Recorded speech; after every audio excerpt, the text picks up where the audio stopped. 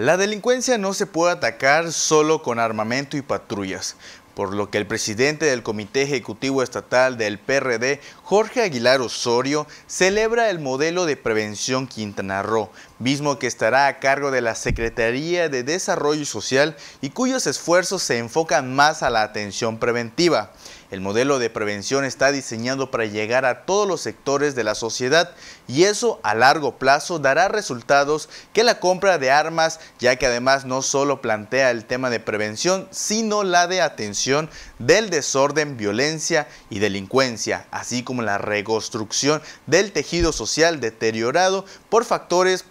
como la falta de cultura de legalidad, la corrupción y la delincuencia. El líder perredista señaló, por el bien de los quintanarroenses, esperan que todas las acciones viertan los resultados esperados que tanto le hacen falta, de manera particular en la zona norte y en general a todo el estado.